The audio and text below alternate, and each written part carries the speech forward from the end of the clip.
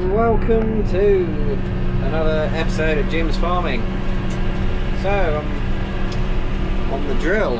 Uh, currently on we've only got two two fields, about 20 acres, a little bit over 20 acres of oilseed rape going in this year in the rotation, and I'm on getting it in. So it's been a bit of a frustrating week.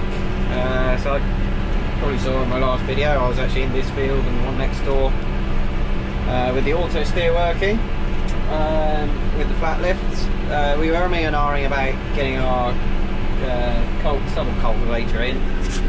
But anyway, as it happens, we're a bit short-staffed.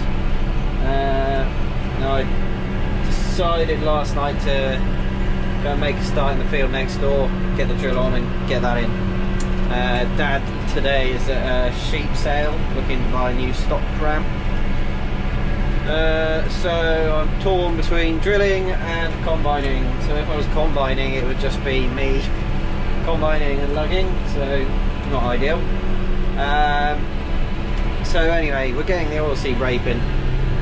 Uh, going in quite nicely. There's quite a nice bit of moisture down in. There's also quite a lot of trash. I'm just going to to put the camera down for a second.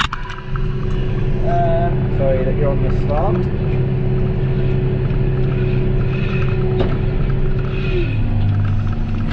So yeah, like I say, there's a fair bit of trash. Uh, that is there for a reason. Uh, we did cut the stubble a little bit long, slightly longer on here than we normally would. Um, same in the other field. Um, because just trying to help hide our little vulnerable oilseed rape plants when they finally come up from the dreaded flea beetle. So as well as that, this year we're also companion cropping. There we go, we're just steering in. Uh, but anyway, uh, yeah, we're companion cropping the oilseed rape with some buckwheat and clover. Um, to be honest, there's kind of limited evidence. I think some say it does help hide hide the and mask the oilseed rape from flea beetle, stem flea beetle, but uh, whether it does or doesn't, we'll see. But also, the, the the clover will fix a bit of nitrogen, and the buckwheat will hopefully scavenge a little bit of phosphate out of the soil, which will then become available to the rape when um, it gets killed off by the frost in the winter. Hopefully, we have a frost. So that's the current plan on doing this. It's pretty hard going. We are, well, like I say, I've been through with the flat lift. It's done quite a good job of actually. Um, breaking up the soil and it's definitely probably struggle to get in here with uh, going straight in without that but that's done a nice job. Hasn't disturbed the soil too much so we retain quite a lot of moisture which you can see coming up. Got the power harrow working a bit you know it's probably in six inches maybe five or six inches um, just to do a good old mix with the with the straw and the trash and the seeds just being placed just in the in in the soil with the press wheel just uh, pushing pushing that down and get a nice bit of seed to soil contact. So yeah uh, I'm on auto steer anyway and in the other tractor. So yesterday afternoon had a bit of a rush and managed to get this thing fixed up in a fashion. Is actually working quite well. It's uh, within a couple of centimeters it's a bit rickety a bit like the one I've got in the 6230 well it's the same unit I've just drilled a new hole in there, bolted that on, and off to your uncle. Uh, a few cables, antenna on the roof, on the window, stuck to the window there. Uh, steering angle sensor fits very nicely down in the bottom there. Uh, cable through the door, and there we go. Did have a bit of a hiccup. Um, caught that in that latch last night, and I was wondering why I didn't get a GPS signal. So that's going to have to be rectified at some point. A bit annoying, uh, but there we go. We're getting on, and we have our RTK, and it's doing a very nice job, and I'm not having to steer, so ideal. It is good. It's, uh, it's done a very nice job over there, over, over the hedge. You won't be able to see from here, but um, I actually used the AB lines from when I was in here cultivating the other day, going up and down the wheel, field, the straight AB in line, and also the AB curve that I put in doing the headlands. Uh, that worked really well. You can see up across there, lovely straight lines. It this gadget here, well this setup I put out that looks so Heath Robinson and rough and ready. It's amazing how good a job it does. Uh, yeah, very, very happy with it. Arm down.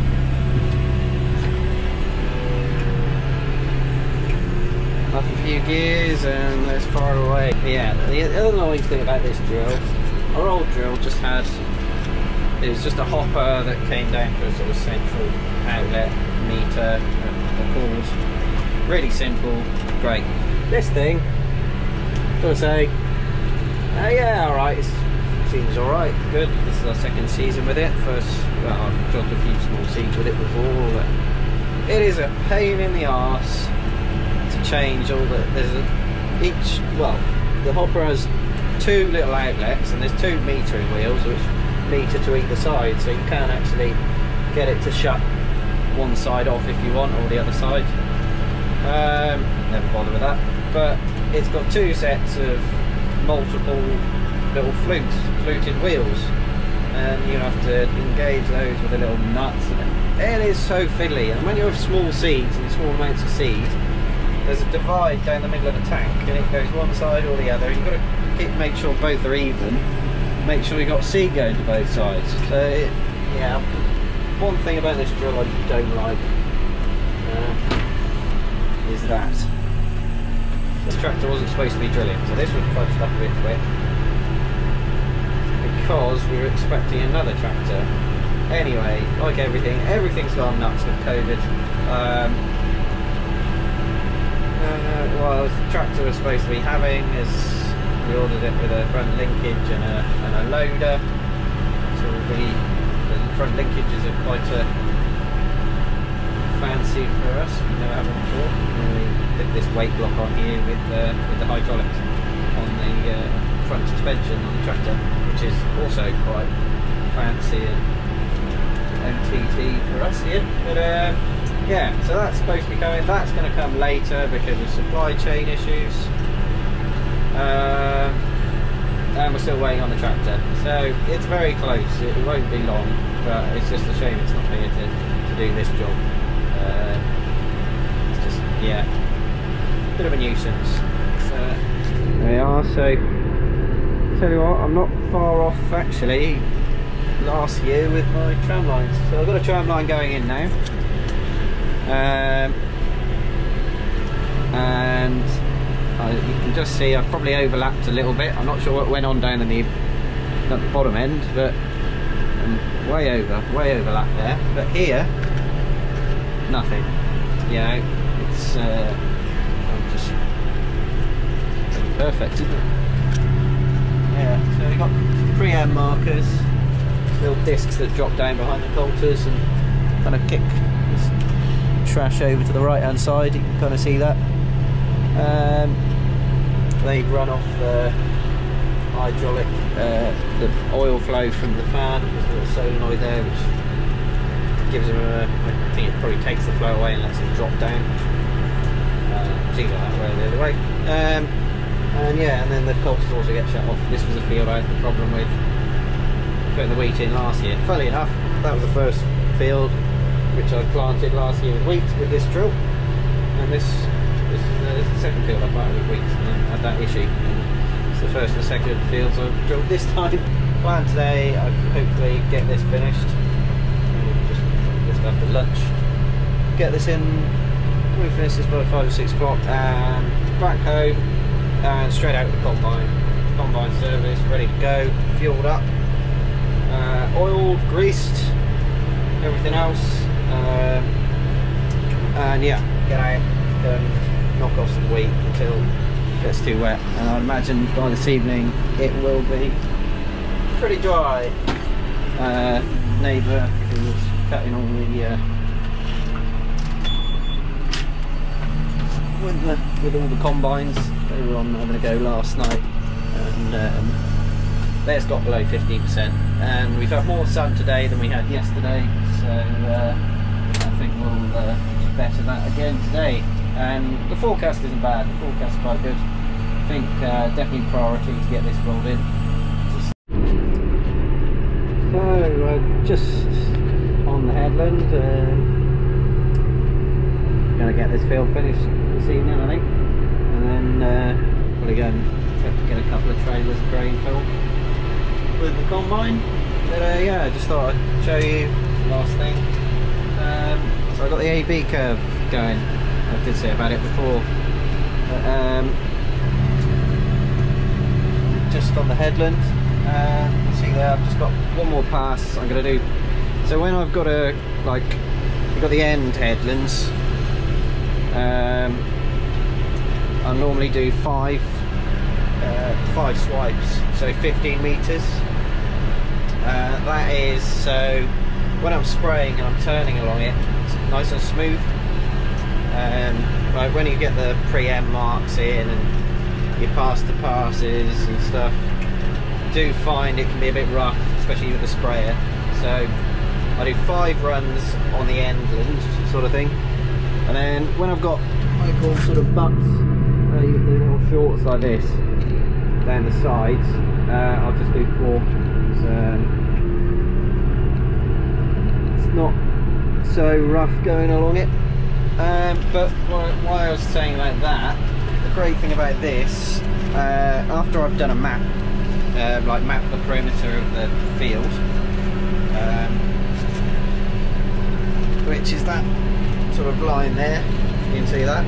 Well, I can bring in a headland, which is this yellow line. So when I'm doing my ups and downs in, in the middle of the field, I know just to go over that 12 meter line, and that'll give me 12 meters. Um, and uh, I'm not wasting too much seed.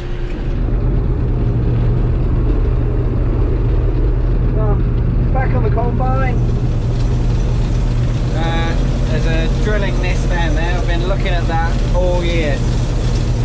Uh, I can remember I was uh, very sunny, just like this evening, and I just couldn't see my mark, and I followed a cultivator mark and uh, missed a bit. So nice to have that bit off. Um, he's looking pretty good here. has just gone down in a few places over there where um, there's been a bit of uh, there's some shorts and it's had a good dose of nitrogen. But uh, I'm currently managing to get up and down and then it's showing up in my little window there. So yeah, it's coming off pretty good. Uh, it's now quarter to eight. I think I've been on, oh, I don't know, hour and a half something. Uh, about seven maybe half six, seven o'clock, finally got into here. So good to have the rape drilled.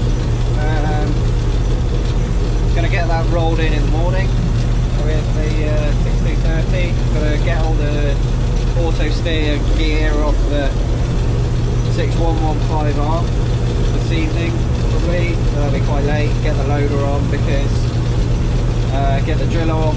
Um, we can tip a couple of loads of grain in the grain store, but we need the loader to push it up onto the pile to make a bit of space.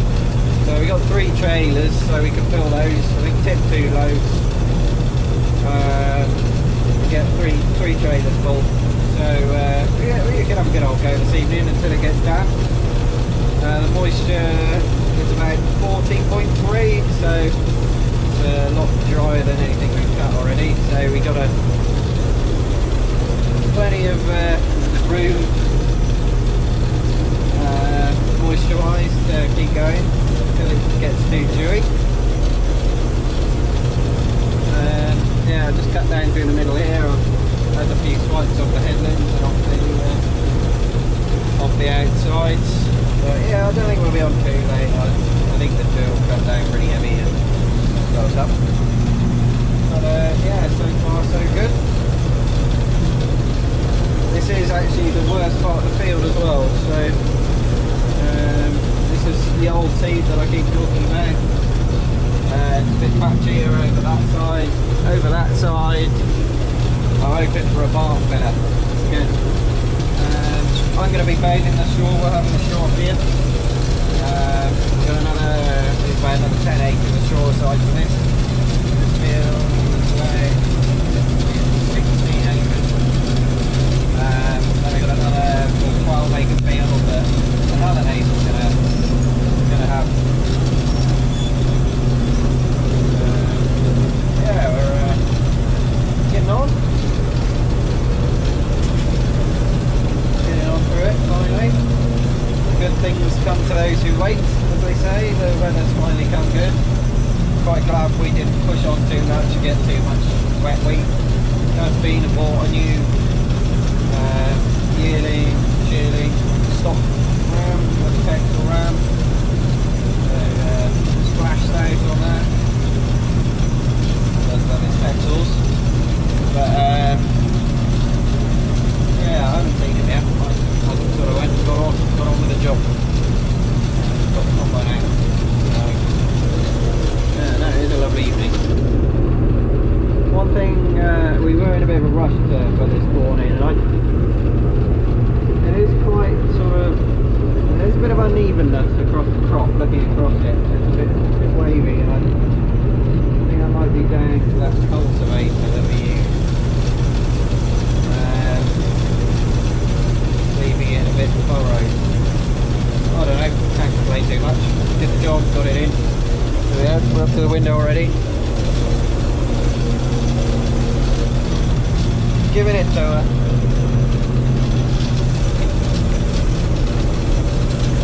Yeah, main man's having a look. Right, anyway, so let's hope you've enjoyed watching today. We've uh, still haven't had a walk around the combine and shown you that properly, and I haven't shown you what we got in the grain shed. Yeah. But uh, now we'll get around to that at some point. Uh, yeah, so I hope you've enjoyed watching my uh, uh, Heath Robinson GPS drilling rig, which has done a very good job. I'm, again, I'll say again, really, really pleased with it. Went really well. Um, so I'll be seeing some more of that as the uh, planting, so we get into planting week. And yeah, back on combine in. So there we are. Right. Catch you again for another episode of Jim Farming. Bye.